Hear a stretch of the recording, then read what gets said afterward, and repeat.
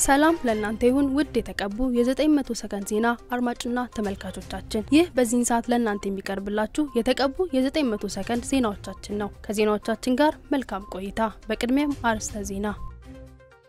በቢሾፍቱ ወንደርስ አጥቢያ የትንሣኤ በዓል መታሰቢያ በድምቀት ተከበረ። እግዚአብሔር ሰው ነቢይ ደረሰ ላቀውና የእግዚአብሔር ሴት ነቢይት ሳራ አብዱረሂም እግር የማጠብ ፕሮግራም በቤተ ክርስቲያኒቱ አደረጉ። በአዲስ አበባ ሚራክል አጥቢያ ቄሱ ተፈታ።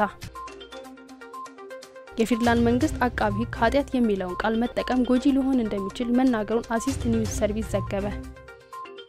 ከዝርዝር ዜናዎቻችን ጋር አብራችሁን ቆዩ። በቅድሚያም ከሀገር ውስጥ ወዳገኘናቸው ዜናዎች እናልፋለን።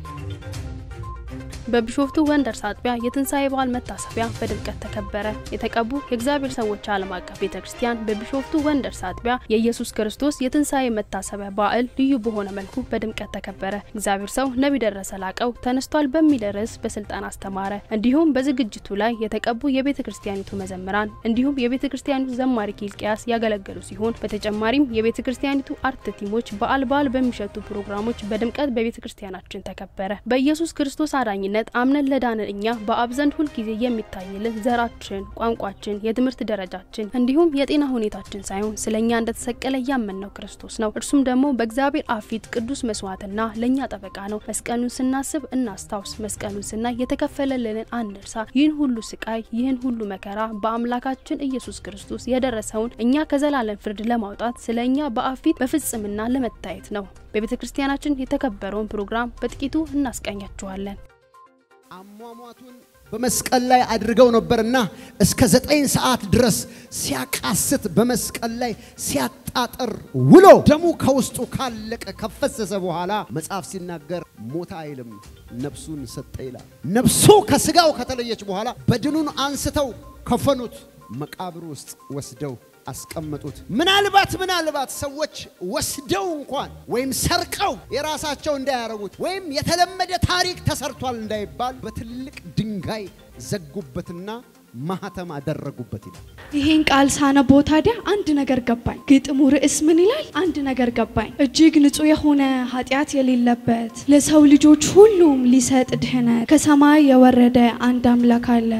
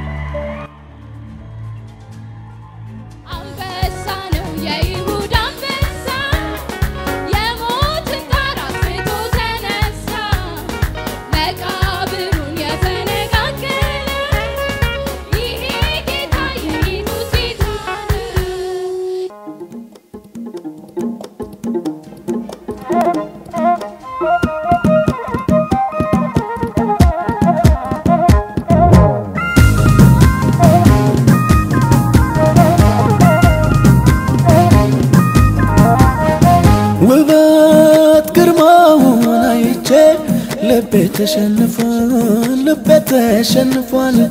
እኔስ ኢየሱሴን አግኝቼ ውስጤ እፎይ ብሏል፣ ልቤ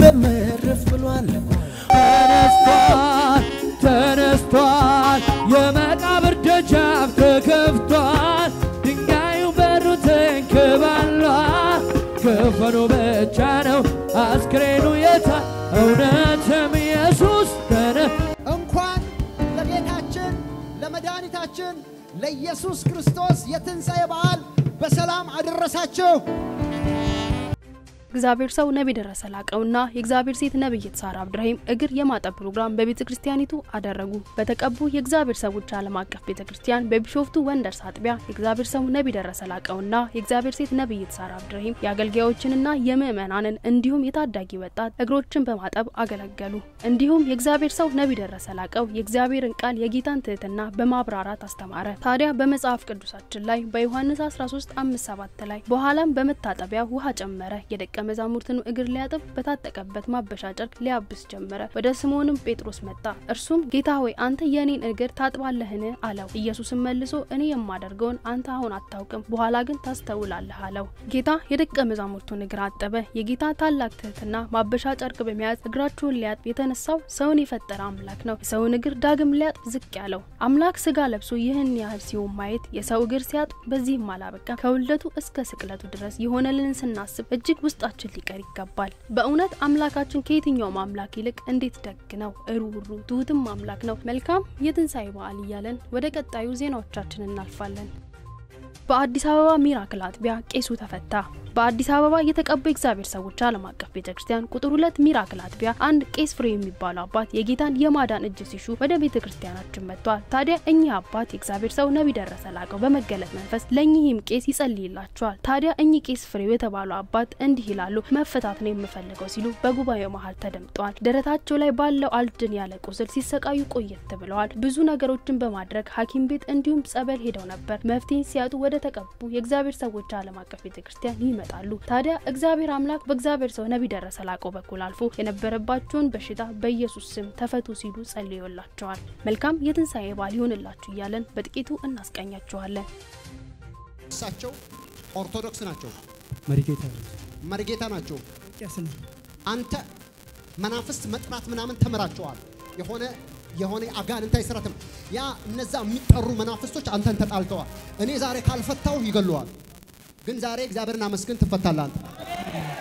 አሜን አትልም? አንድ ማን ነው ስምህ? ቄስ ፍሬው በደብተራ የሚጠሩ አጋንንቶች አሉ። አንዳንድ ቄሶች ተለማምደው የሚጠሯቸው አጋንንቶች አሉ። እነኛ እርኩሳን መናፍስቶች ስራቸው ካልተሳካ ዞሮ የሚመቱት ላኪውን ነው። እነኛ መናፍስቶች ተቆጥተዋል። ይህን ሰው ዛሬ እኔ እፈታለሁ።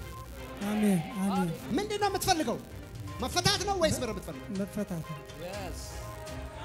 አረ እልልታ ያለው እልልታ ያለው ጭብጨባ ያለው ከፍ ያርግለት ለልዑሉ። ከዚህ በላይ ከዚህ በላይ በሽታ ይህ ነው። ደረት ላይ ይህን ጨምሮብሃል። አልድን አለ ከከኝ ከከኝ ከከኝ ከከኝ ከከኝ ይልሃል። ጨረቃው ሲወጣ ጸበል ሞከርኩ፣ ሐኪም ቤት አየሁት። እሺ ለውጥም አላገኘም። የተወሰነ ይሻለኛል፣ ወዲያው ይቀሰቅስ። ወዲያው ይነሳብሃል። ወዲያው ሲያክሙኝ ትንሽ የተወሰነ ይቀንስና የወር የሁለት ወር ሲዛባ ዛሬ እግዚአብሔር አምላክ እነኛን የሚጣሉህን መናፍስቶች ይገልልሃል። አሜን እነኛ መናፍስቶች መሞታቸውን የምታውቀው አንተ ላይ ከዚህ በኋላ ይሄ በሽታ አይሆንም። መናፍስቶቹ ይገደላሉ። አሜን እግዚአብሔር አምላክ ታሪክን ይቀይራል። አሜን ሆብዬ ሆብዬ ሆብዬ በመስጋን ሆልበን ሆልበን ሆልበን ጠላትሽ ዙሪያ ዙሪያ ውድ የተቀቡ የ900 ሰከንድ ዜና አድማጭና ተመልካቾቻችን ይህ ድንቅና ታምራትን ያደረገ እግዚአብሔር አምላክ ተባረክ እያለን ከውጭ ወዳገኘናቸው ዜናዎች እናልፋለን። የፊንላንድ መንግስት አቃቢ ሕግ ኃጢአት የሚለውን ቃል መጠቀም ጎጂ ሊሆን እንደሚችል መናገሩን Assist News Service ዘገበ። የፊንላንድ ፍርድ ቤት የሀገሪቱ የቀድሞ የፓርላማ አባል ፓቪ ራሰንና የ Bishop ዶሃና የተከሰሱበትን ክስ ሙሉ በሙሉ ውድቅ ማድረጉን ተነግሯል። የፊንላንድ የቀድሞ የሀገር ውስጥ ጉዳይ ሚኒስተር ፓቪ ራሰን በ2019 ዓ ም በጋብቻና በጾታዊ ስነ ምግባር ላይ ያላትን ክርስቲያናዊ አመለካከት በትዊተርና በሬዲዮ እንዲሁም በ2014 በበራሪ ወረቀት በማስፈሯ በማካፈሏ የጥላቻ ንግግር አድርገሻል በሚል የተከሰሰች ሲሆን Bishop ዶሃና ደግሞ ይህንን በራሪ ወረቀት በማስተማር ለቤተ ክርስቲያናቸው ጉባኤ በማደል መከሰሳቸው ተገልጿል። ይህ ክስ የመናገርን ነጻነት ይገድባል በሚል የሰብአዊ መብት ተሟጋቾች ዘንድ ስጋት በመፈጠሩ የዓለም የመገናኛ ብዙኃንን ትኩረት ስቡ ነበር። ከፍርድ ቤቱ ውሳኔ በኋላ የቀድሞ የፊንላንድ ፓርላማ አባል ፓቪ ራሰን እንዳለችው ፍርድ ቤቱ የመናገር መብት አደጋ ላይ መውደቁን ተገንዝቦ በነጻ ስላሰናበተ አመሰግናለሁ በማለት የፊንላንድ የንግግር ነጻነት መከበር ለመቆም እድሉን ስላገኘው ደስ ብሎኛል። ይህ ውሳኔ ሌሎች ተመሳሳይ ፈተና ውስጥ እንዳይገቡ ይረዳል ብዬ ተስፋ አደርጋለሁ ብላለች። በክሱ ሂደት ላይ አቃቢ ሕጉ ተከሳሿ በመልእክቷ ውስጥ ኃጢአተኛውን ውደድ፣ ኃጢአትን ጥላ በማለት የመጽሐፍ ቅዱስ ቃል መናገሯን ገልጾ ኃጢአት የሚለውን ቃል መጠቀሟ ጉዳት የሚያስከትል በመሆኑ የጥፋተኝነት ብይን እንዲሰጥ ጠይቆ እንደነበረ የዘገበው Assist News Service ነው። ይህ ክስ መጽሐፍ ቅዱስ አስተምሮን በጥላቻ ንግግርነት የመፈረጅ የእግዚአብሔር ሕግ የመንጻረር አደገኛ አካሄድ የሚያሳይ ነው።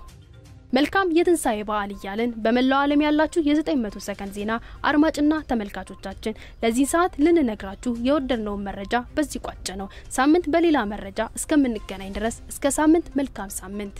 ተነስቷል ተነስቷል፣ የመቃብር ደጃፍ ተከፍቷል፣ ድንጋዩ በሩ ተንከባሏል። ከፈኑ ብቻ ነው አስክሬኑ የታል? እውነትም ኢየሱስ ተነስቷል። በየጊዜው የምንለቃቸውን ቪዲዮዎችና የተለያዩ መረጃዎችን ለመከታተል Prophet ደረሰ ላቀው ህዝባር Anointing TV የሚለውን የፌስቡክ ገጻችንን like ና follow ያድርጉ። እንዲሁም Prophet ደረሰ ላቀው ህዝባር Anointing TV worldwide የሚለውን የዩትዩብ ቻናላችንን subscribe ያድርጉ። በየጊዜው የምንለቃቸውን የተለያዩ ቪዲዮዎች በሰዓቱ ቀድሞ እንዲደርሶት ደግሞ የደውል ምልክቱን ይጫኑ።